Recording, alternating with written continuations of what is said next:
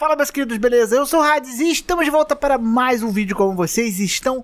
Hoje nós iremos falar aqui sobre os joguitos que estão de graça essa semana. Maravilha, né? Joguinho de graça é sempre bom. Temos jogos, como sempre, mais para os computadores, mas tem uma coisinha ali ou outra para os consoles, tá? E antes de começar o vídeo, só quero lembrar para vocês que tá tendo aí a chance de você ganhar uma edição de colecionador do Cyberpunk 2077 ou o valor desta edição em monezinhos de verdade. Para você participar é só acessar o primeiro link da descrição aqui e lembrando, só coloque seu nome se você realmente for confirmar a sua participação. Beleza? Aí ajuda a gente a organizar direitinho o esqueminha, beleza? Então, deixa o like, se inscreve no canal, pega o banquinho, puxa ele aqui, senta do lado e vamos falar dos joguinhos grátis da semana.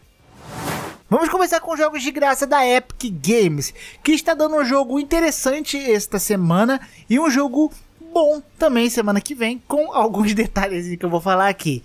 Começando com o jogo que já está de graça, que é o Crying Suns. Aqui nós temos um jogo que é um roguelite de estratégia, um jogo tático que se passa num futuro onde você tem suas naves, tem suas frotas, totalmente num combate tático aqui. Você passa pelo papel de um comandante de frota que foi clonado e aí tem vários acontecimentos que você precisa reestruturar o império que tinha sucumbindo e nestes momentos, né, você encontra personagens, você encontra pessoas durante sua jornada intergaláctica e ao mesmo tempo, né, que você vai progredindo, você vai lutando você consegue fazendo melhorias no geral, né, na sua, na sua frota, nos personagens que você recruta. E também, né, é um jogo que ao você ver primeiramente o combate assim de estratégia, aquele combate para quem não tá acostumado com combate mais tático, ele parece ser mega caótico, mas na real ele não é nem um jogo tão complexo assim, tá? Ele é um jogo que dá para aprender a jogar, embora eu não tenha zerado ele, eu já tenha jogado um pouco. Ele é um jogo que dá, dá para você jogar, mesmo se você não for um expert assim, embora o combate dele parece um pouco caótico. É um jogo interessante, é um jogo que tem um estilo artístico de pixel art que eu acho bem bonito e bem atrativo. E ele vai ficar aí de graça até quinta-feira, meio-dia, tá? E aí vai entrar o próximo jogo dessa semana que nós vamos falar aqui, que é o Star Wars Battlefront 2. Esse mesmo, o polêmico, né? Um jogo que é muito bonito graficamente e ao mesmo tempo ele é um jogo bem otimizado, cara. Eu joguei ele em um computador que era antes de eu fazer o upgrade no meu e ele rodava muito bem e cara, é um jogo muito bonito, sabe? Porém, ele tem toda aquela polêmica que ele teve das microtransações mas é um jogo que eu recomendo você jogar porque ele vai estar tá de graça agora, né? Era um problema maior quando você pagava por ele e você tinha essas microtransações, as loot boxes dele que eram bem abusivas. Mas é aquele conselho de amigo, né? Não compra, cara, não, não ajuda essa prática, né? Vai, pega o jogo de graça e curte ele de graça. Você já pegou de graça, por mais que seja difícil realmente você querer ter os personagens ali, os heróis, né? Que são os personagens únicos do jogo vale a pena ainda sim você jogar ele, seja pelo modo história, que é interessante, seja pelos multiplayer dele, que é algo bem legal, divertido. Você tem várias classes, você tem até combate de nave, dá pra você se divertir bastante sem você dar dinheiro pra prática da EA. Eu recomendo, claro que o dinheiro é seu, cada um gasta como quiser. É uma recomendação minha mesmo, mas que no geral é um jogo muito bonito e pode ser bem divertido, principalmente você chamar amigos, né? Agora que tá de graça, é uma boa hora para jogar com amigos. Agora vamos para alguns joguinhos aí no computador, Steam ou no computador em geral. Nós temos o Mutant Ops, que é um jogo basicamente de primeira pessoa e bem simplesão. Um jogo com bastante referências a outros jogos e que aqui você luta com hordas de inimigos que são os monstrinhos, que tem uma variedade de monstrinhos relativamente ok, sabe? É basicamente um cenário mais aberto numa cidade onde vários monstrinhos vão chegando, você vai fazendo upgrade nas armas, você vai mudando ali a opção de armas que você quer, mas é um jogo que não se limita e é muito longe disso, tá? Um jogo mais para quem quer ter uma certa distração, quer jogar um pouquinho aí para desestressar, sei lá, pode ser interessante, é um jogo que tá até com boas análises positivas na Steam, mas é um joguinho bem simplesinho, fique com ele em mente, mas não deixa de ser um jogo que possa ser interessante aí para alguns tipos de pessoa. Outro jogo que tá de graça, na verdade ele já tá de graça há um bom tempinho, né? Mais ou menos desde a metade de 2020. Só que eu estou falando dele aqui porque chegou bastante conteúdo novo nele, que é o Conqueror's Blade, né? Lá na Steam ele está 0800 para você jogar e ele é um jogo de batalha medieval, acho que esse é o melhor resumo dele.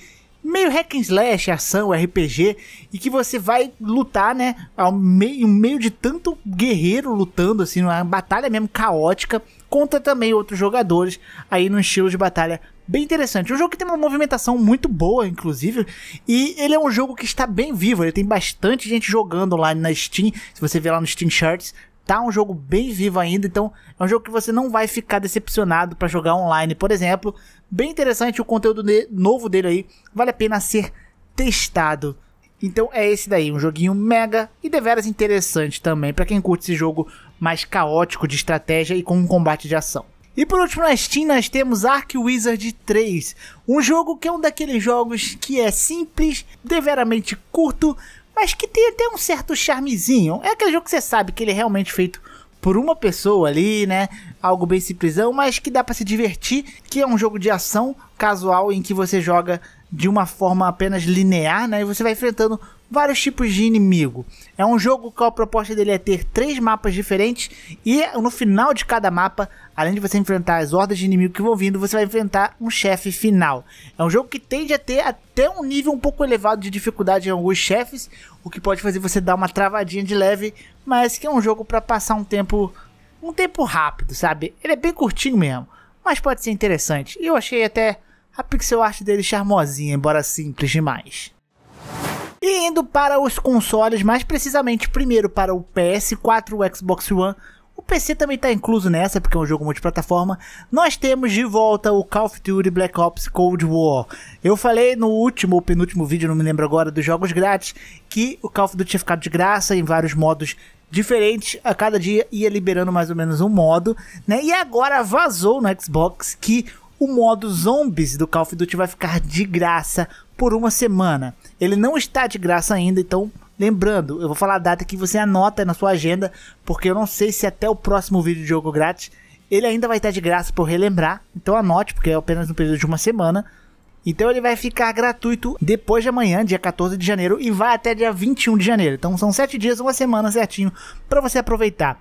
E o modo zombies é basicamente um modo onde passa-se, acho que é no mundo paralelo, né? É um monte de zumbi que você enfrenta e você vai fazendo missões ali relacionadas àquela história daquela ambientação. E o jogo vai ficando com mais ordem, vai ficando mais difícil, ao mesmo tempo que você tem que realizar alguns objetivos aí. Tem muita gente que é bem fã desse modo zombies, outros nem tanto, mas é interessante, né? Ainda mais para você ver como é que tá o jogo, você pode ver como é que tá graficamente, a questão de gameplay mesmo se você não jogou ali quando ele estava de graça, né? E vale a pena dar aquela testada, 0800, né? 7 dias, eu acho que é um tempo excelente para você, acho que zoar muito nesse modo. Sério, eu acho que dá para enjoar tranquilo aí jogando 7 dias esse modo. E, né, se você quiser ainda jogar depois, se você caso for comprar o Call of Duty, esse modo vai ser, né, sua progressão vai ser levada pro jogo ali final. Então, tá aí esse período de 0800, talvez valha a pena para muitas pessoas. E por último, nós temos um no Switch. Milagres, né? É, teve aí uma semana que teve e agora voltando a ter. Olha que incrível, né? Mas aqui não é um jogo totalmente free e sim uma demo do Monster Hunter Rise, que inclusive essa demo tá quebrando recorde no bagulho. Derrubou a eShop de tanta gente baixando essa demonstração. E Monster Hunter é um jogo excelente, né? Dispensa muitos comentários. Um jogo onde você tem um arsenal de armas muito interessante, uma questão de inimigos muito bem elaborados, ótimas estratégias para você lutar com esses inimigos, além de você, né, sempre estar ali motivado a derrotar esses inimigos para você criar suas armaduras únicas, suas armas, combar e criar suas builds. É um jogo muito bom, eu sou muito fã de Monster Hunter e o Rise está aí, porém ele é exclusivo do Switch e você vai poder jogar se você tiver um, a demonstração gratuita no console. E meus queridos, esse aqui é o vídeo. Espero que vocês tenham gostado. Se vocês gostaram, deixa seu like, se inscrever no canal. Muito obrigado pela visualização. Um grande beijo, grande abraço. Eu fico por aqui. Um beijo no popô. É nóis. E fui.